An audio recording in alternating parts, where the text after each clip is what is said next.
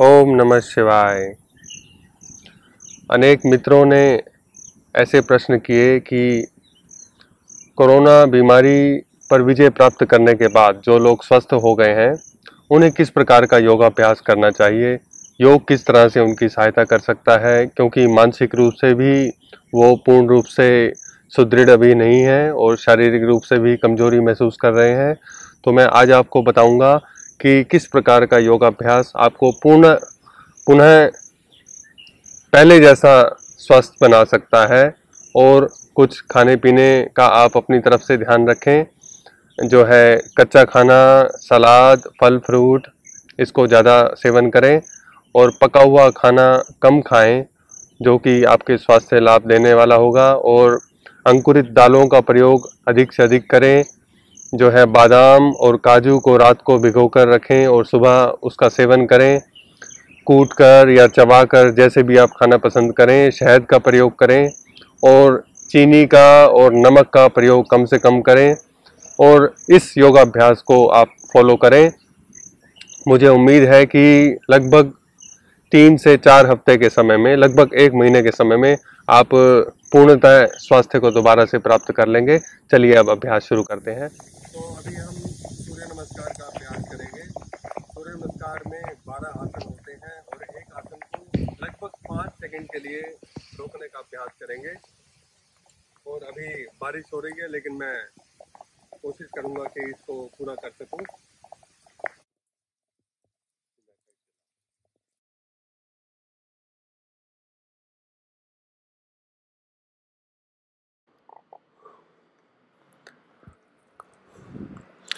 बारिश के बावजूद भी मैंने सोचा कि आज का अभ्यास पूरा कर लिया जाए। दोनों पैरों को मिलाकर नमस्कार की मुद्रा में खड़े हों। अपने परमात्मा का ध्यान करें, इष्ट का ध्यान करें, गुरु का ध्यान करें। लंबी श्वास भरते हुए दोनों हाथों को ऊपर उठाएँ। कंधों को ज़्यादा से ज़्यादा फैलाने की कोशिश करें। कमर को पीछे की ओर मोड़ें। लगभग पाँच सेकंड रोकने के बाद वापस आएँ, आगे झुकें। कोशिश करें, माथा घुटनों पर लग जाए, पाँच सेकंड के लिए रोकें। सीधा पैर पीछे लेकर जाएँ, पंजों को ढीला छोड़ दें। सांस भरते हुए दोनों हाथ ऊपर उठाएँ। पाँच सेकंड के लिए आसन को रोकें, वापस आएँ। दोनों पैरों को पीछे ले जाएँ। दोनों पैरों की एड़ियों को ऊपर नीचे चलाने का प्रयास करें। पैरों की मांसपेशियाँ खुल जाएँगी इस व्यायाम से। फिर सीधा पैर सामने लेकर आएँ। दोनों हाथों को श्वास के साथ ऊपर उठाएँ। पाँच सेकंड के लिए रोकें और धीरे से वापस आएँ। दोनों पैरों को पर्वत आसन में लेकर जाएँ। इस आसन में भी लगभग पाँच से दस सेकंड रोकने का प्रयास करें। घुटनों को मोड़ें। घुटनों को ज़मीन पर लगाएँ, कंधों को ज़मीन पर लगाएँ और धीरे धीरे दोनों बाजू सीधे कर दें। कमर को पीछे की ओर मोड़ें और कंधों को चौड़ा करें, ऊपर देखें, आँखें खुली रखें, श्वास को बाहर निकालते हुए वापस आएँ। बायां पैर, दायां पैर सामने लेकर आएँ, माथा घुटनों पर लग जाए, ऐसा प्रयास करें। शरीर को बिल्कुल ढीला छोड़ दें, श्वास भरते हुए धीरे धीरे ऊपर आएँ और दोनों हाथों को नमस्कार के मुद्रा में लेकर आएँ। यह सूर्य नमस्कार का अभ्यास कम से कम तीन बार करें और तीन बार करने के बाद दोनों पैरों को फैलाकर खड़े हो जाएँ, दोनों हाथों को ऊपर उठाएँ, बाईं तरफ़ झुकें लगभग पाँच सेकंड के लिए दाईं तरफ़ झुकें लगभग पाँच सेकंड के लिए धीरे धीरे समय को बढ़ा सकते हैं और सामने की ओर झुकें। उतना ही समय लगभग। जैसे अभ्यास आपका बढ़ता जाएगा, ये पाँच सेकंड, पच्चीस सेकंड और तीस सेकंड में भी बदल जाएँगे। कोशिश करें ज़्यादा से ज़्यादा आगे झुकने की, जिसके कमर में दर्द हो, वो यह आसन ना करे अभी। याद रखें, कोशिश यह रहे कि प्रत्येक आसन का समय एक जैसा हो रोकने का। अगर आपका समय पाँच सेकंड है तो हर एक आसन को पाँच सेकंड ही रोकने का प्रयास करें। दोनों पैरों को फैला दें, हाथों को फैला दें और बाई तरफ़ घुट जाएँ।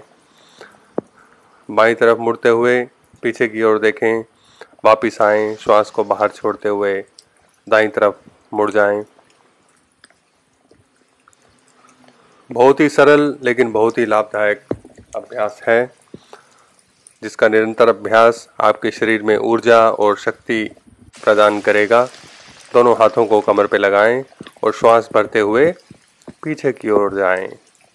ज़्यादा से ज़्यादा कमर को पीछे की ओर मोड़ने का प्रयास करें धीरे धीरे कमर में लचीलापन फ्लेक्सिबिलिटी बढ़ेगी और श्वास को बाहर छोड़ते हुए वापस आएँ। एक बार दोबारा श्वास को भीतर लें श्वास को बाहर छोड़ते हुए वापस आएँ और आगे झुक जाएँ। पाद हस्तासन। कंधों को घुटनों के नज़दीक लेकर आना है। अब दोनों पैरों को पीछे ले जाकर पर्वतासन में एक पैर को ऊपर उठाकर रोकना है। इससे शरीर में शक्ति बढ़ेगी, बैलेंस बढ़ेगा। हाथों में शक्ति बढ़ेगी बारी बारी से दोनों पैरों से कर लें। इस प्रकार एक एक हाथ को भी उठा के आप कर सकते हैं। एक हाथ कमर पे लगाएँ, दूसरा हाथ कमर पे लगाएँ। वो एक अलग आसन है, फिर कभी बताऊँगा आपको। वज्रासन में बैठ जाएँ। वज्रासन का अभ्यास पैरों के दर्द को ख़त्म करेगा। ज़्यादा चलने से, दौड़ने, भागने से जो दर्द होता है, वो ठीक हो जाएगा। अंत में पश्चिमोत्तान आसन का अभ्यास अवश्य करें। श्वास भरते हुए दोनों हाथों को ऊपर उठाएँ। श्वास बाहर छोड़ते हुए पैर के अंगूठों को पकड़ने का प्रयास करें। नहीं तो जहाँ से भी आप पैर पकड़ पाएँ, वहीं से पकड़ लें। जहाँ भी सुविधा हो आपकी, और आगे झुक जाएँ। कोशिश करें माथा घुटनों पर लग जाए। पेट को जंगाहों पर चिपका दें। और लगभग 20 से 25 सेकंड इस आसन को रोकने का प्रयास करें। और अपनी प्रार्थना के साथ अभ्यास को ख़त्म करें। अपने इष्ट का नाम लें, गुरु का नाम लें, परमात्मा को स्मरण करें। महादेव शिव शंकर का नाम लें, जो कि योग के महागुरु हैं। वही आपके सब रोगों को, कष्टों को हरने वाले होंगे। धन्यवाद। ओम नमः शिवाय।